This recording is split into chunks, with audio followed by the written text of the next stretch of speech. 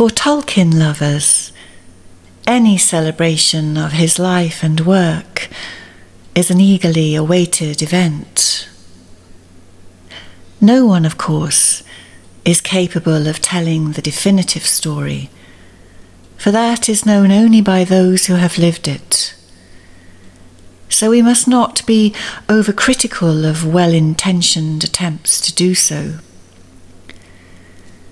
Those who have reviewed the film so far have not been particularly impressed. This is the first film to be released by Walt Disney Studios Motion Pictures under the recently acquired Fox Searchlight Pictures banner, and one wonders if, on some level, sophisticated reviewers cannot quite bring themselves to endorse this first offering. The film has not been endorsed by the Tolkien family estate either, but neither was the Peter Jackson trilogy of Lord of the Rings. Be all this as it may be, I personally found it lovely, even whilst being aware that Tolkien himself was always at pains to spell out that his work was not allegorical in any way. Fairy is an altogether different realm, he told us, and as independent and remote from the everyday as it is possible to be. He was absolutely clear that he was recording rather than inventing his tales. The characters and themes were not concocted, nor were they mirrors of his personal experiences transposed onto a mythological landscape. It was his genuine humility that no doubt facilitated his entry into the realm of fairy, and his genius that enabled him to render it into literary form.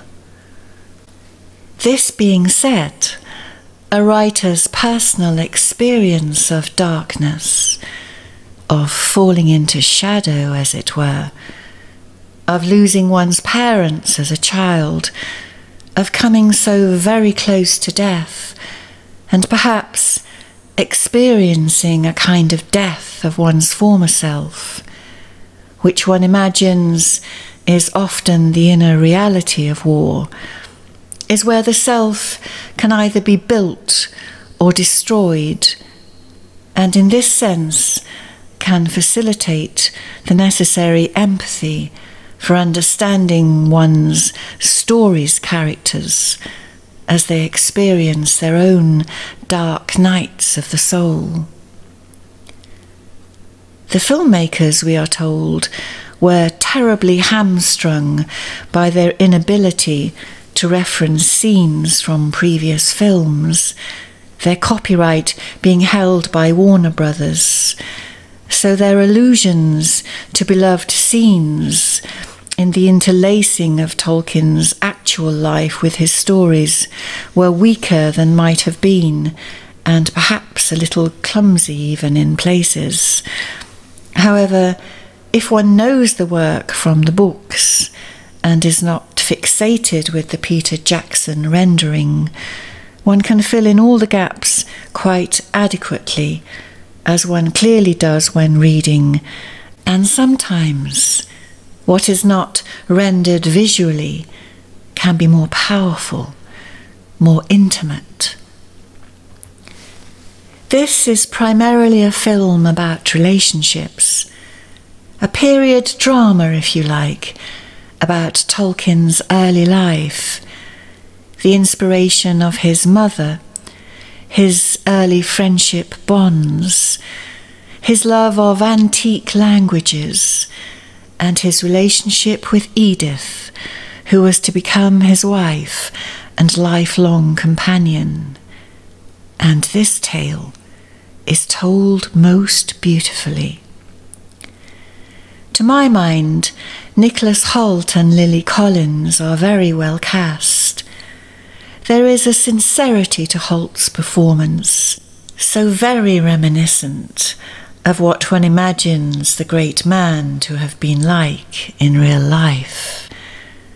The kind of man who, for over 20 years, pretended to be Father Christmas and sent letters to his children every year from the North Pole, regaling them with painstakingly illustrated tales of polar bears and the like set against remote snow clad mountains and the spectacular northern lights.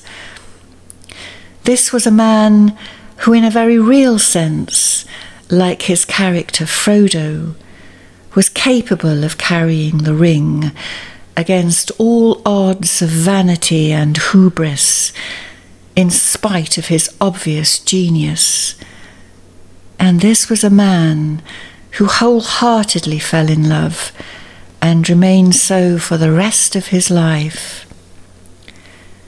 Both orphans living in the same lodgings as teenagers, they had shared an immediate intimacy, and even though their relationship was forbidden by Tolkien's guardian, the two held fast to their feelings and married shortly after Tolkien graduated from Oxford.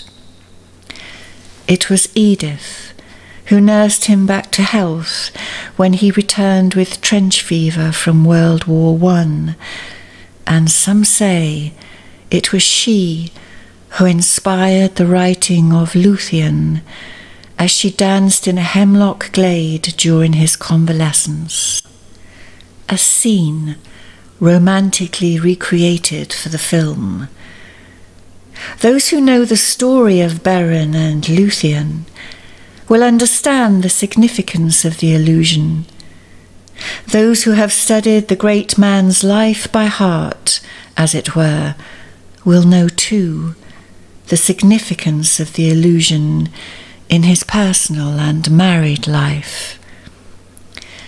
She was always my elven princess, he wrote to his sons after her death in 1971, and she knew it. There are numerous ways to tell a story. Some are simple and wholesome for a mainstream audience, with a great dollop of quintessentially English beauty and romance, like a merchant ivory film might deliver, and sometimes this is just what is needed.